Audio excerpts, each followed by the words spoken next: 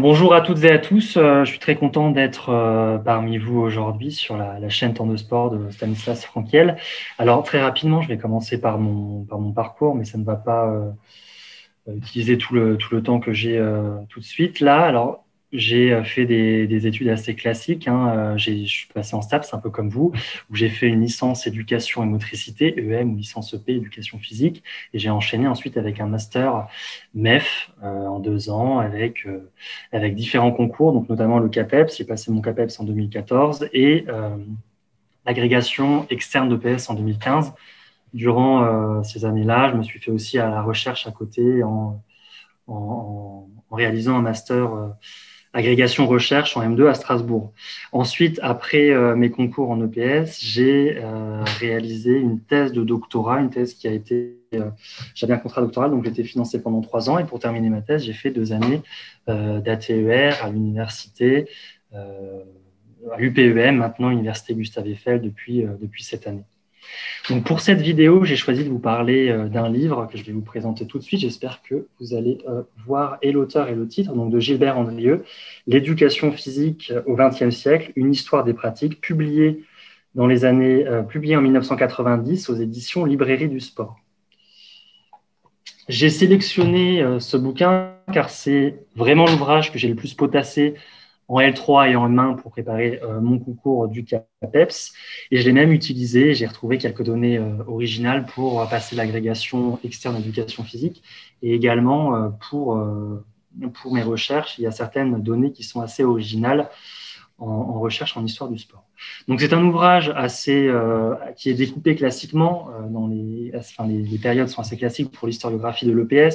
Donc vous allez le voir rapidement, une première partie sur la belle époque 1880 1913-1914, une deuxième partie sur 1914 jusque dans les années 30, une troisième partie sur 1936-1958, donc là la période du Front populaire au euh, début de la Ve République, une dernière période 58-59 jusqu'à 1970.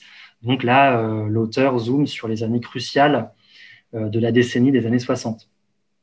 Donc, dès l'introduction, l'auteur Gilbert Andrieux présente l'EPS comme une discipline qui est ballottée à la fois entre l'école et le milieu extrascolaire, entre le système éducatif et les loisirs. Donc là, une discipline qui est influencée par différents facteurs. Vous pouvez même euh, penser à la problématique euh, que Pierre Arnaud euh, présente dans différents ouvrages, dans différents chapitres sur l'orthodoxie scolaire notamment. Donc dans ce livre, Gilbert Andrieux fait part de son expérience en tant qu'enseignant de PS et c'est peut-être là l'originalité qu'il affiche en début d'ouvrage. Il le dit dans l'introduction, il n'y a pas de, secret avec, avec ça. Donc il va s'affranchir parfois de la méthode historique sans oublier des principes fondamentaux de l'histoire. Et c'est ça qui est intéressant dans euh, le siècle que Gilbert Andrieux va parcourir, sans hésiter à donner des anecdotes parfois assez croustillantes hein, sur ce qu'il a vécu, lui, en tant qu'élève, mais aussi en tant qu'enseignant d'éducation physique.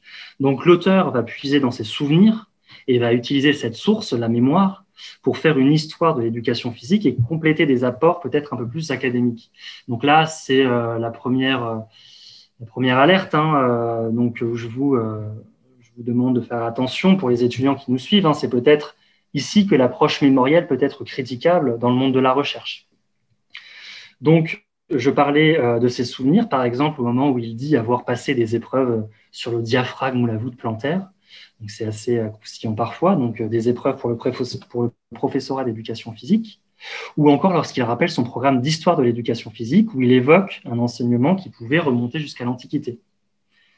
Donc, en relisant, en reparcourant cet ouvrage, et après avoir obtenu mes concours euh, dans l'éducation physique, donc APEPS agrégation, je me suis dit qu'il y avait parfois quelques manques dans cet ouvrage, c'est certain, mais l'ambition de Gilbert Andrieux n'était pas euh, de faire quelque chose de très complet. Donc, il voulait proposer un bouquin quand même qui est peu épais euh, à destination des étudiants ou des curieux. Donc, forcément, certains passages sont peut-être critiquables. Il y a parfois l'effet d'un résumé rapide de certains phénomènes ou périodes, mais l'idée était de donner quelques repères aux étudiants. Euh, et je pense que le contrat est rempli en une centaine de pages, en une petite centaine de pages pour cet ouvrage. Donc, c'est plutôt réussi. Pour mener cette entreprise, il essaie de croiser différentes histoires et il le dit dès le début. Alors là, je vais le citer, hein, faire l'histoire de l'éducation physique, c'est un peu faire l'histoire de toutes les histoires, donc politique, euh, militaire, euh, scientifique, médecine, religion, technique, etc. Donc ça, c'est à la page 11.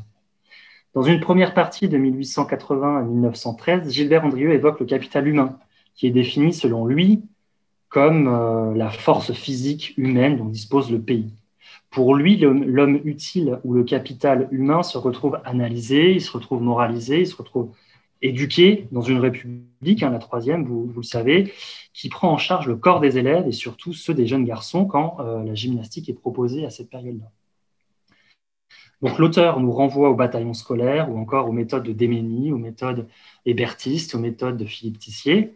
Dans cette éducation physique qui cherche à solidifier ses bases à cette époque, il observe que différentes influences, alors notamment pour lui hein, la médecine et l'armée, participent à rendre flou les moyens ou les méthodes proposées en éducation physique.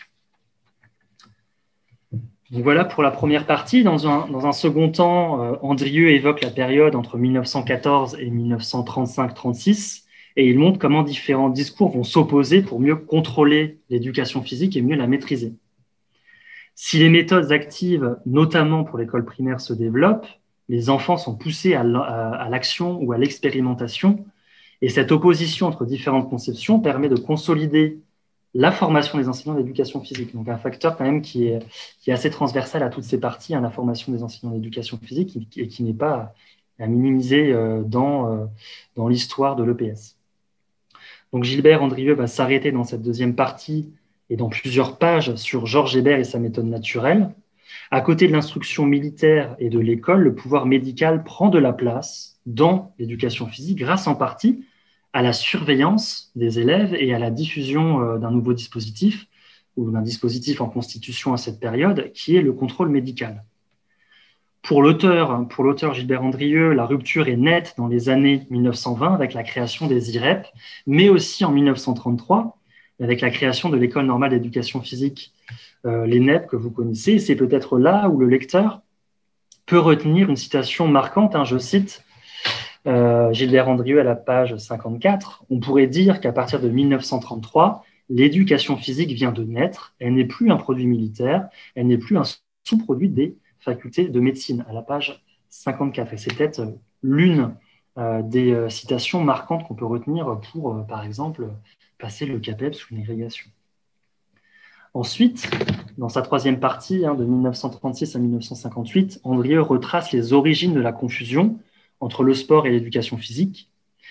Alors que le sport devient peu à peu un spectacle et que l'hygiène semble en recul en éducation physique, le sport prend plus de place dans la discipline, ne serait-ce que par le BSP, le brevet sportif populaire, qui est institué par le décret du 10 mars 1937.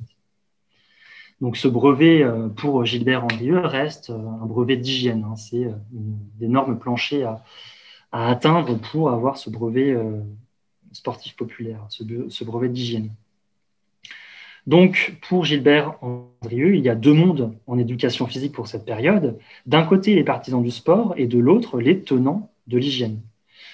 L'auteur voit dans cette intégration timide du sport à l'école une confusion latente entre les activités physiques scolaires et le sport de compétition.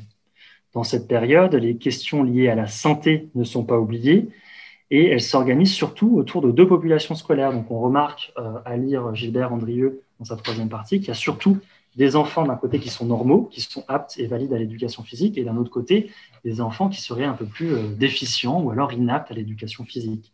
À partir de là, il y a une constitution de différentes éducations physiques. Euh, je pense notamment aux IO de 1945, une, constitution de différentes éducations physiques pour les différentes populations. Donc cette partie de 1936 à 1958, et c'est fondamental que de le dire, voit également une meilleure structuration de la formation des enseignants d'éducation physique. Donc, Andrieux euh, le dit, hein, l'éducation physique devient une affaire d'enseignants à la page 89, et c'est peut-être fondamental aussi que de le noter. Dans une dernière partie de 59 à 1970, l'auteur montre que dans un moment de mutation des mentalités, alors là, nous pouvons euh, convoquer euh, différents éléments de contextualisation qui ne sont pas forcément dans le livre de Gilbert Andrieux. Donc, je pense à différents travaux. Hein. Il y a des travaux bah, de Michael Attali, Jean Saint-Martin, les travaux de Pierre Arnaud, mais aussi les travaux de Jean-Luc Martin sur la période Ve République. Mais force est de constater que la discipline accélère grandement sa sportivisation et devient un élément de la politique sportive de la nation dans les années 60 et pour cette dernière partie. Donc les JO de 1967 confirment d'ailleurs cette orientation sportive. Le sport envahit l'école et diffuse cette culture corporelle à des élèves de plus en plus nombreux dans les années 1960 et 1970. Donc là, euh, la petite parenthèse aux travaux d'Antoine Pro, notamment sur la massification et la démocratisation scolaire. Ici, Gilbert Andrieux fait référence à des auteurs comme euh, Justin Tessier ou Jean Le Boulch sur leur méthode pour zoomer sur différents systèmes, si je puis dire, d'éducation physique. Andrieux dit également une chose qui est fondamentale et qui alimente les débats des acteurs de l'EPS des années 1970 et 1980. Les JO de 1967 sont à destination surtout des enfants sains, des élèves aptes à la pratique sportive.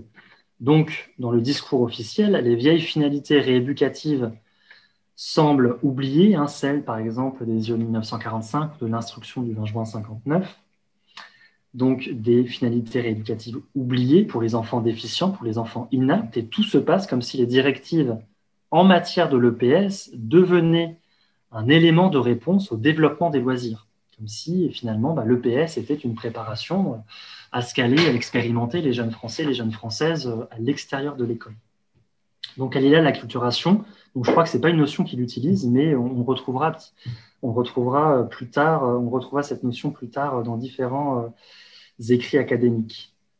Donc cette tendance à la sportivisation pour Gilbert Andrieux euh, offre une, sorte de tribune à la critique au courant contestataire, hein, un courant contestataire envers le sport et cette sportivisation de l'EPS. Donc différents courants qui remettent en question cette éducation physique qui serait trop sportive, ils sont bien connus, ces courants des étudiants, mais on peut évoquer avec Gilbert Andrieux, et il le met euh, dans cette dernière partie, un courant contestataire euh, qui provient des différentes éducations psychomotrices. Et c'est quelque, chose que je connais, puisque ce passage de la gymnastique corrective en éducation physique pour les élèves déficients aux éducations psychomotrices, j'ai quand même travaillé un petit peu dessus dans le cadre de ma thèse sur l'éducation physique des élèves déficients de 1945 à nos jours. Donc voilà, euh, très rapidement, euh, pour tenir euh, les quelques minutes que Stanislas m'avait données pour cet ouvrage, Andrieux le rappelle d'ailleurs dans sa conclusion, il a essayé de poser des jalons de l'histoire de cette discipline scolaire en puisant dans différents champs de l'histoire, donc militaire, sciences, médicales, etc. Donc j'invite bien sûr les candidats du CAPEPS à lire les différents ouvrages qu'il existe dans l'historiographie de l'EPS et du sport, mais je pense que cet ouvrage-là de Gilbert Andrieux est quand même un fondamental pour la préparation euh, de l'histoire du sport en éducation, enfin en STAPS, de la licence au master. Donc voilà, merci pour, euh, pour votre attention. J'espère ne pas avoir été trop brouillon et rapide. Euh, donc moi, je vous invite à aller lire les ouvrages d'un auteur pionnier comme Gilbert Andrieux. Partagez, commentez, abonnez-vous, car enseigner, c'est répéter.